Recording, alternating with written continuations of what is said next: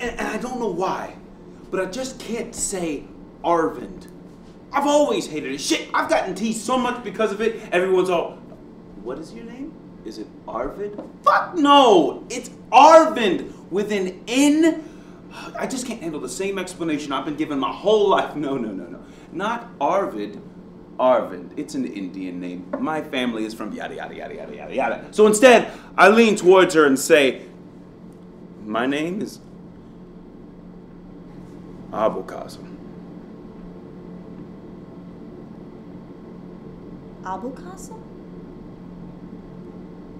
Abu Qasim? Abulkasem. Really? That's your name? Yes. Did you know there's an Abulkasem in Arabian Nights? sure, but look, you know, it's most famous for that play, you know, Signora Luna by that Almqvist guy.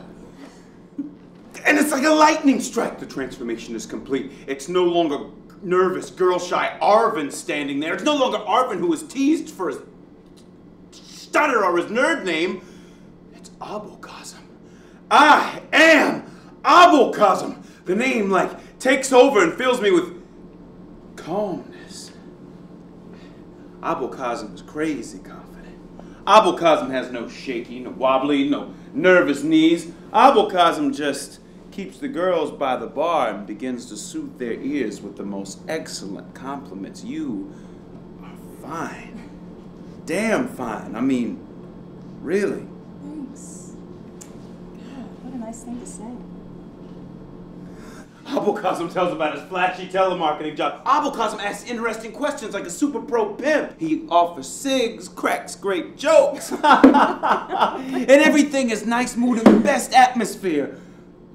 That is up until she gets a bad conscience about her friends. Hey, I have to go find my friends, but maybe we can um, talk a little more later. And Abulkasem knows just what she means, you know.